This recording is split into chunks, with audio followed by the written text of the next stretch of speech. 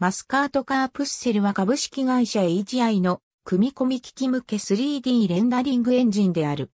演算に、フプーを必要とせず、必要なメモリも少ないため、リソースの限られた組み込み機器や、携帯電話などに向いている。NTT ドコモ、au、ソフトバンクモバイル、ウィルコム、e モバイルなど、日本国内全キャリアの携帯電話端末、及びモトローラ、ソニーエリクソンモバイルコミュニケーションズ、サムスン電子など、海外の携帯電話端末に採用されており、搭載機器の世界累計出荷台数は6億台を超えている。現在までに以下のバージョンが存在する。